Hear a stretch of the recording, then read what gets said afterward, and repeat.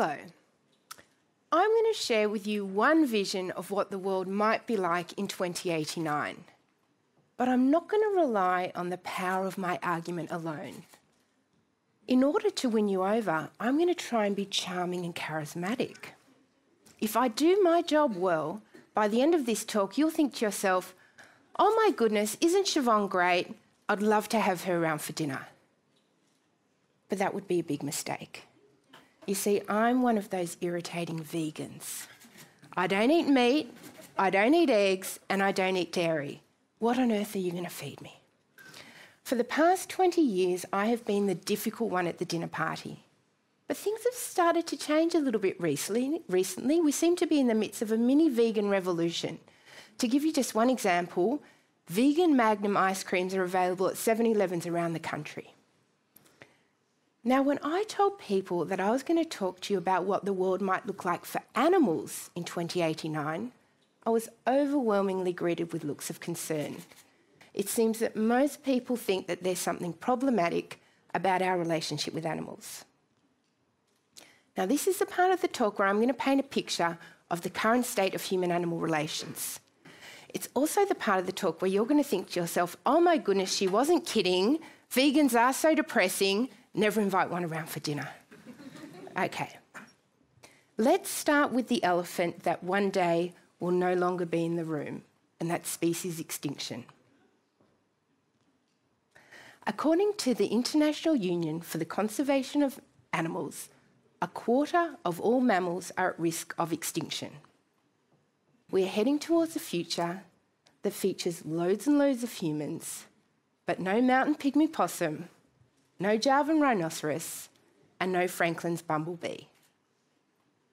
But extinction is only one of the ways in which humans harm animals. I'm a public policy scholar. I study and research policy making and policy analysis.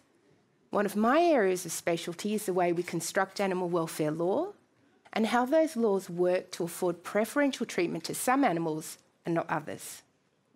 If I had to sum up my research findings after more than a decade and a half, I'd say this.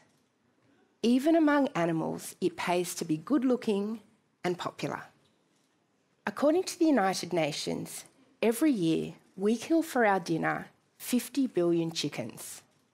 We also kill 140 million tonnes of marine animals that we call seafood, and we kill, kill many more millions pigs, sheep, goats, and cattle.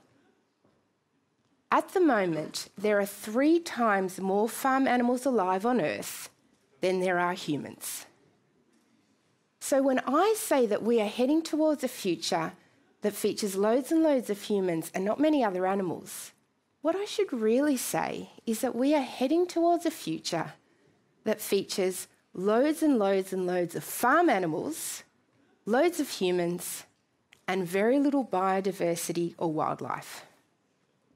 Okay, how are we going? I wasn't joking about the depressing bit, right? But there is some good news. Are you ready for some good news? I've identified two trends that, when combined, I think might make the world a better place for animals in the next 70 years. Let's start with trend one. Now, I'm not going to lie to you, trend one is also a little bit depressing, but we're going somewhere good, so stay with me. Recently, my father's been sick and he's been in hospital. When he's in hospital, we worry about his exposure to superbugs. Superbugs are bacteria that are resistant to all or nearly all antibiotics. When we started producing commercial antibiotics in the 1940s, they were revolutionary. Antibiotics saved lives. But as soon as we started doing that, bacteria began to develop resistance. As the, as the bacteria evolves, we need stronger and stronger antibiotics in order to fight the infection until there are no antibiotics left that are strong enough. What remains are superbugs. The reason we worry about my father when he's in hospital is that superbugs are most prevalent in places where we use a lot of antibiotics. Unfortunately for us, we are heading towards an antibiotic resistant future. According to the World Health Organization, the 21st century could well be a time in which common infections, minor injuries, will be life threatening. Okay, how are we going? We're talking animals, we're talking antibiotics, we're talking, where's this first trend? What's going on? Okay, stay with me. It's all going to come together in a moment. Now, I'm going to assume that nobody in this room has seen a mountain pygmy possum for reals. That makes perfect sense. They're critically endangered. But in the past year, how many live chickens have you seen? Is it 50 billion? Where are all these chickens? When UNSW was founded 70 years ago, plenty of people living in this area would have had a couple of chooks in the backyard. I did growing up in Gladesville. Now we have 50 billion chickens and they live overwhelmingly in factory farms. Factory farms are cramped environments. Many hundreds, if not thousands, of animals live together in sheds. Typically, factory farms use a lot of antibiotics. It's been estimated that between 75 and 80% of all the antibiotics we produce globally are fed to farm animals. Not to sick humans, they're fed to farm animals. And the animals aren't even sick, it's not fed to them for therapeutic reasons. They're fed to farm animals simply to keep the animals alive, and in some countries, to make them grow more quickly. And we're not just feeding them our old stuff.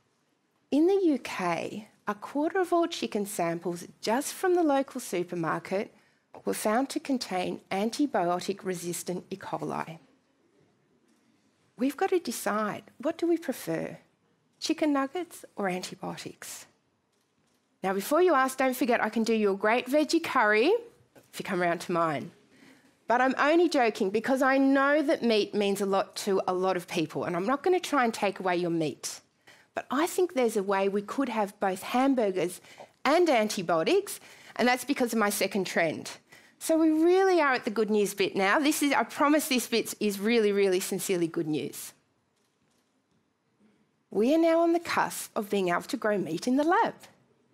So, for the past 10 years, plant based meat, cheese, and milk alternatives have been getting better and better. More palatable, more available, more authentic. But even better than that, we can grow meat in the lab. So, the first lab grown burger has been prepared and served in the UK. Apparently, it tasted very meaty, which is a good thing. The technology isn't perfect. That burger cost $400,000 to produce. It also required fetal bovine serum, which is blood from unborn calves.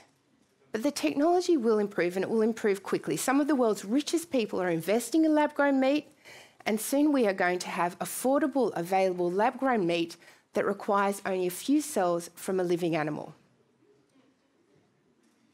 I don't see myself eating lab grown meat. I'm used to being the difficult one at the dinner party. But plenty of people will, especially once it's cheaper than traditionally grown meat. I'm going to feed it to my cats. So, will factory farming be a thing of the past in 2089? I certainly hope so. Factory farms are sites of trauma. But it's not just that I feel really sorry for the animals that have to live inside the factory farms. I also really, really, really love antibiotics, and I want us to have them in the future. Know, um, a cut on the hand should be a minor issue, not something that could kill you. But factory farming is also associated with species loss. Animal agriculture requires a lot of land clearing, and growing meat the old fashioned way, not in the lab, is water and energy inefficient. My hope for the future is that in 70 years from now, we have lots and lots of animals on planet Earth, but I also hope that they're mountain pygmy possums, Javan rhinoceros, and Franklin's bumblebees, not chickens, sheep, and pigs. But of course, only time will tell. Thank you.